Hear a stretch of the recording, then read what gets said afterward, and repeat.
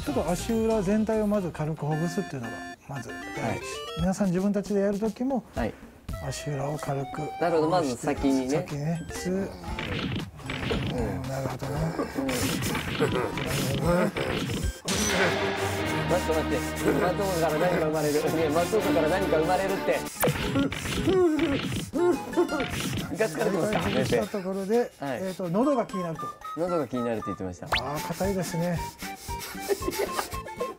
ここはあんまり強くしちゃいけないところなんで足のここなんで。そうそう。なんです足の裏はいくらでもいいんです。足の裏はいくらでもいいんだ。なんで足の裏はいくらでもいいんでしょう？あの元々。ちょっと待ってどうして松岡松岡今は大丈夫ですよ先生先生ちょっと待って先生してないそうなんですかそう強めにやってみますか本人タップしてますけど本人あー出なかった終了先生先生終了ですえ残念ですね残念ですか